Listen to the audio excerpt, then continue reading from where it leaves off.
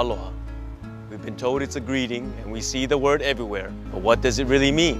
Break the word down into two parts. Alo, to be in the presence of, to be in the face of, to combine with the ha, the breath, the life, the spirit, the essence of one's being, anyone else around you. And so when you say aloha, you're saying to be in the presence of, of to join with the spirit and the essence of the person who is across the table from you. You acknowledge that everything has a life around you and it lives and breathes.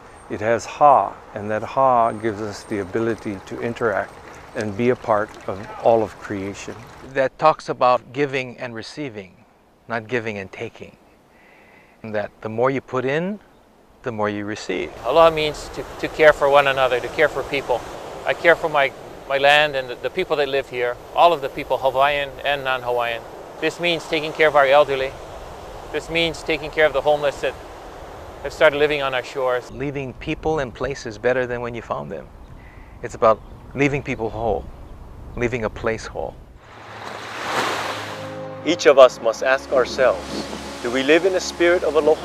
What effect is that having around us? Aloha.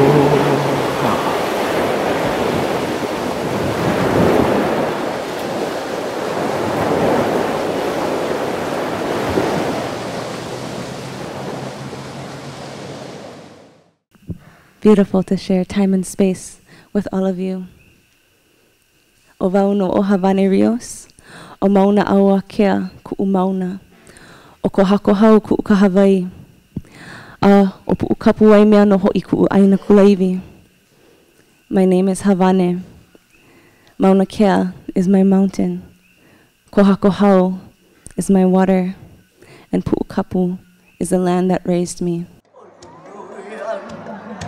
Hãy subscribe cho kênh Ghiền Mì Gõ Để không bỏ lỡ những video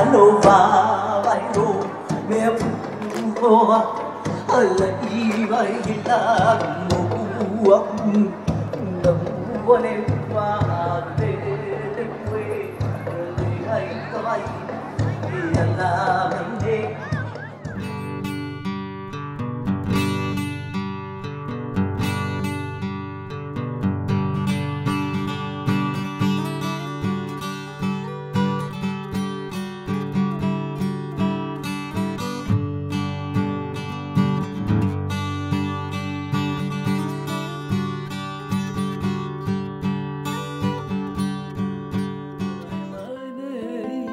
It's just so graceful to see my mom on a wave. It's that's what it is. It's grace. Kamau i ka ina mona, lome lome vele la lima. Then she danced hula, and I just think it all came together. Ui, he ono oh, ke momoni iho.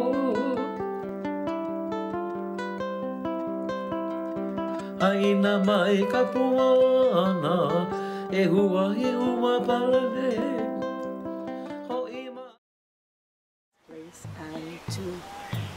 Have that sense of belonging where their hula now becomes a way that they can give back to the land. They're not taking hula as something that's feeding them. They're now using that hula to revitalize the land because the land will hear the names, will hear the stories, will feel the presence of the people and will be enriched and revitalized and it will hulu again. And that's a really important part of our culture and of hula that you can't see when you Google hula or any halal. And um, this is, the, the soul of hula is in Hawaii and in the places that are still Hawaiian. I'm greeted by my local connect, Greg Solatorio, one of six children of Filipo Solatorio, the last living Hawaiian descendant to be born and raised in the Halawa Valley, who still resides here. Greg follows in his father's footsteps as the caretaker of this land and has taken on the responsibility of carrying on their traditions and cultural practices. You know, now, most visitors come here for a quick cultural overview and a hike to a beautiful waterfall at the back end of the valley. But I was fortunate enough to be invited to stay overnight and spend the entire day with Greg and the family to experience just what a day in the life is really like here.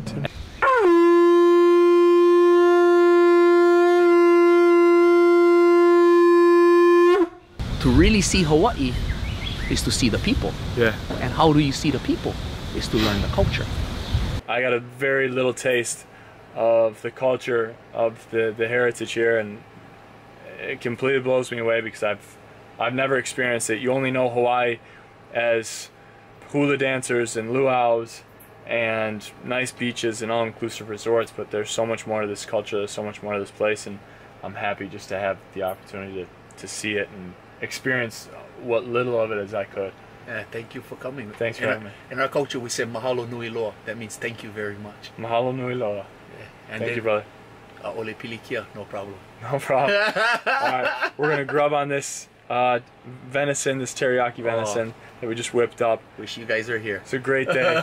learned a little bit about fishing, learned a little bit about hunting, learned a little bit about, about pulling out the traditional food, the taro root, turning it in to a paste, having it with traditional fried fish.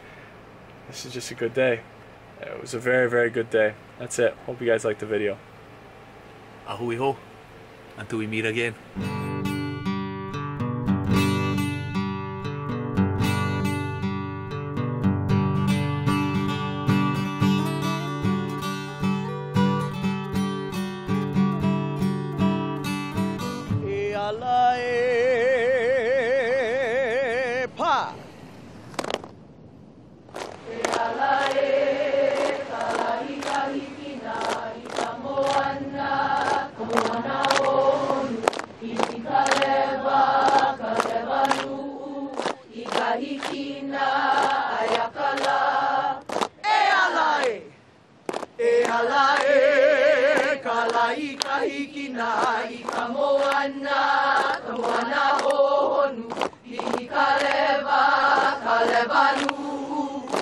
I ka hikina ai a kala.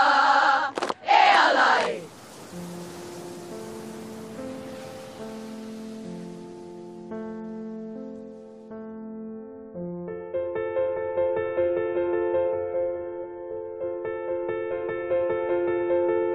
In Hawaii, we have a term, kuleana, which means responsibility.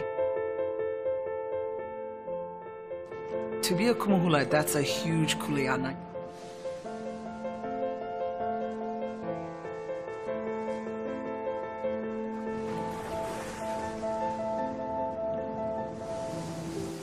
The Hawaiian people did not have a written language, and it was the hula that kept all the stories alive.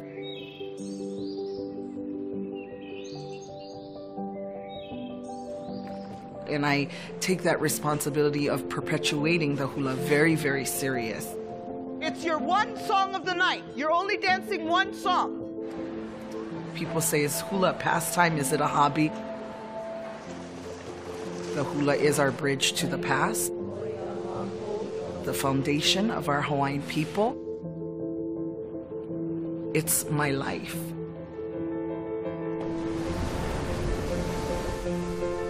Sixty women have to tell the same story. So we have to dance as one, think as one, our souls need to be as one.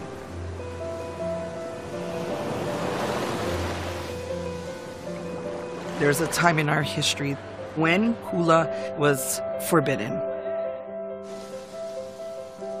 That was a sad time in our history. But King Kalakaua said, the hula is the heartbeat of the Hawaiian people. So where there is Hawaiian people, there needs to be the hula.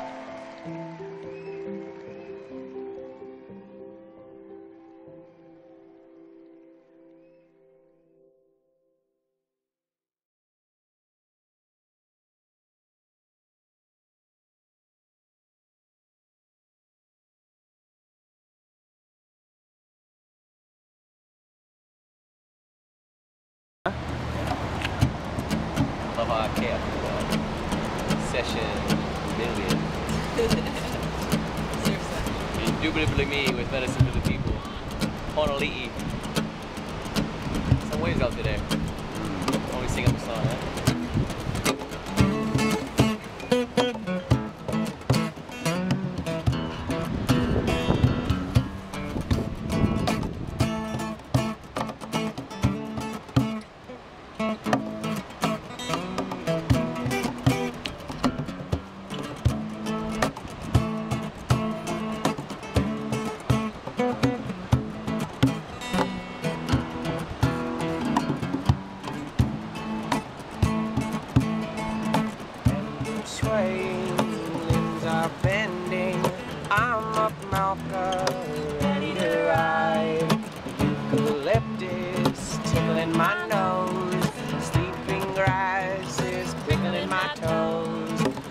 Water crashing, barreling over, windy wisping, white crested shoulders. ER circling over my head, my brains and my body are connected to him. I cue the cane's constant whispering, a sweet, sweet music, a symphony of sentences, familiar and stoic. I'm home.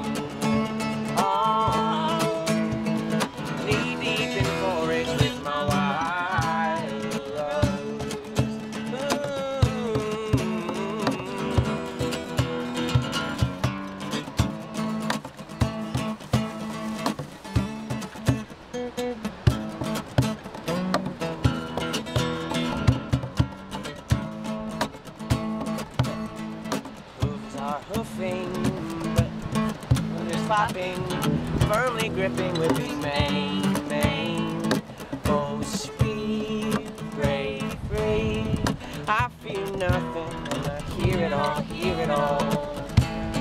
Um, bamboo swaying, limbs are bending. I'm up Malca, ready to ride. Eucalyptus, tickling my nose, sleeping grasses, prickling my toes. Water crashing,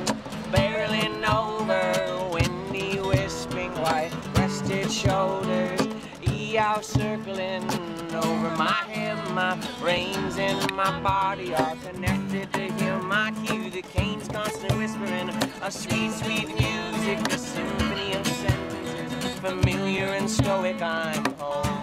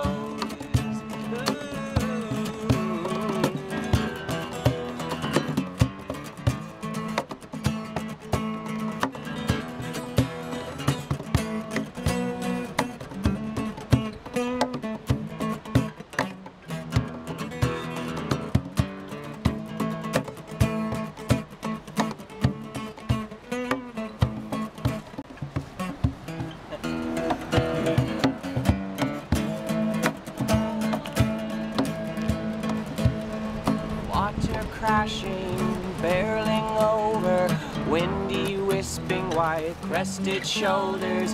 ER circling over my head, my reins and my body are connected to him. I hear the cane's constant whispering, a sweet, sweet music, a symphony of sentences,